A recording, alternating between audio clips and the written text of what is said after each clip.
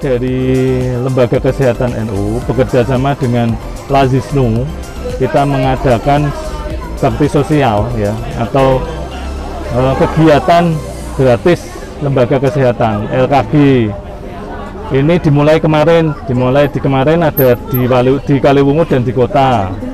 Kemudian hari ini ada di dua titik di Gebok dan di Dawi tapi di Dawi ada dua titik uh, dalam rangka hari lahir NU ya uh, tujuan kita adalah kita di NU butuh uh, perbaikan kesehatan ya kita semua mungkin kurang sehat ataupun kurang dideteksi kesehatannya terutama bagi orang-orang sepuh ya. Nah, pada siang hari ini, pagi hari ini kita di uh, Plumpet di Gebok ini kita ada pemeriksaan gula, pemeriksaan kolesterol, pemeriksaan darah, kemudian ada pengobatan, kemudian ada evaluasi anak-anak yang stunting atau kurang gizi. Nah, ini nanti kita ada langkah lebih lanjut, insya Allah nanti ada evaluasi bagi anak-anak ataupun orang-orang tua yang ada keluhan-keluhan tadi. Mungkin itu dulu secara sekilas. Tujuannya Tujuannya untuk memperbaiki tingkat kesehatan kita.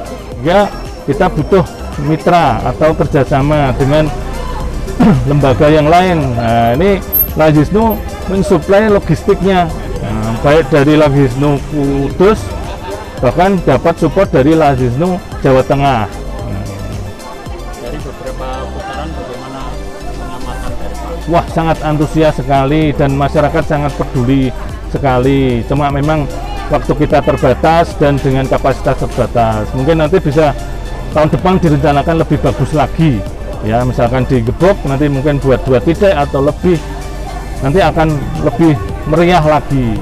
Nah, Ada himbauan Pak untuk warganya terkait kesehatan. pasti tetap kita selama masih belum ada eh, COVID ini yang hilang ya kita tetap harus berjuang melawan COVID itu saja.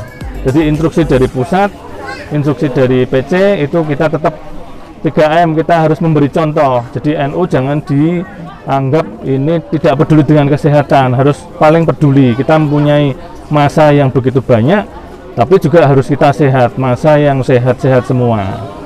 Iya. Program lanjutan Pak seperti apa? Lanjutan kami berharap nanti bisa membuat semacam eh, fasilitas kesehatan NU. Mungkin ada pemberian klinik atau pendirikan rumah sakit kalau memang memungkinkan. Tapi ini butuh proses dan butuh dana dan butuh doa pangestune dari seluruh masyarakat terutama masyarakat NU dan lebih khusus lagi di masyarakat NU di daerah eh, Klumpet Gebok di sini. Ini berapa dokter Pak? ada tiga jadi ini ada tiga tempat setiap pos ada tiga minimal tiga minimal tiga ya. Dokter umum. dokter umum tapi kalau ada apa-apa kita ada dokter anak dokter penyakit dalam dokter ahli anestesi atau dia juga ahli emergensi dan ada dokter eh, bedah juga kasih. ya sama-sama